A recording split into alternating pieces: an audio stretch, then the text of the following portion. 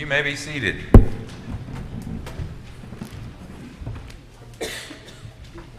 We come now to that point in our order of worship where we pause to come before the Lord in prayer, lifting up those joys, those concerns, those thanksgivings that we might have for ourselves or for other persons.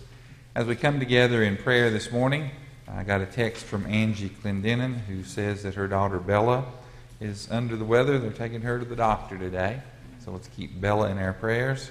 Also, she told me of a central student by the name of Ty Mullins who has a rare form of cancer and is receiving treatment for that. So let's keep Ty Mullins in our prayer. Also, let's continue to keep Rick Campbell and his family in our prayers, and David Knight and his family in our prayers as well. Also, we're lifting up Jim Light in our prayers. We're lifting up Bill Myeri. That's Debbie's dad. He is somewhere on the way to rehab soon. Well, he's at rehab, and he's totally not independent whatsoever, and they want to send him home Wednesday. So, So if you could please keep my mom and my dad in your prayers, because they want to send him home with a twenty-four hour nurse instead of leaving him in rehab. so let's keep that situation in our prayers. Let's uh, pray for Casey Bishop. And uh, my notes incomplete. Casey Bishop's It's the baby. the baby of, of Casey Bishop. Let's keep uh, that baby in our prayer.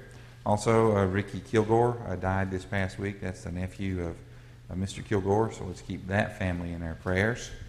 Are there other things we need to lift up in prayer this morning? Got one down front here. Dottie.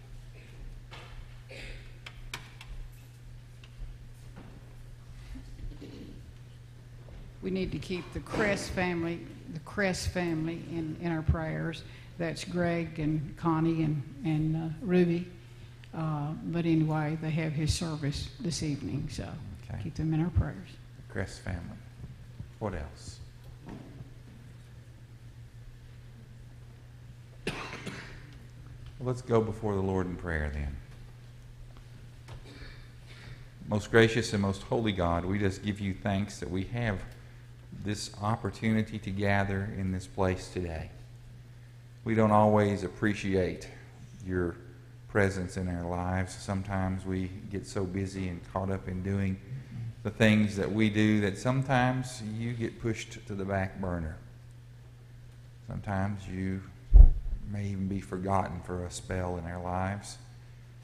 But we are so glad that we don't get pushed to the back burner, that we don't get forgotten by you, that indeed you know all about us and that you're concerned about all the things happening to us and that you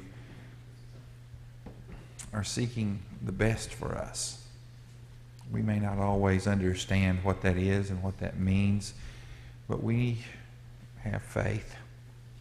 We believe that we can trust you, and if we will let go enough, we can actually put you in control. Today, Lord, help us to let go. Help us to release those things that we're holding on to that keep us from coming to you in the way that you want us to come. Help us to let go of those things that block our relationship with you and block our relationships with other people and that stop us from seeing the world the way that you see it.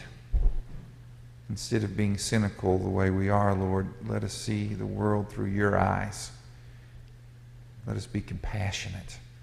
Let us be caring. Let us be loving people, responding to the needs of those that we encounter around us. Thank you, Lord. Thank you for all that you do for us and, and for these prayer requests that we've lifted up this morning. Let your spirit move in the lives of these people. Touch them, heal them, guide them, strengthen them. Let them feel your peace, and let us do what we need to do to share your love with them as well. All these things we ask in the name of Jesus Christ, our crucified Lord and Savior.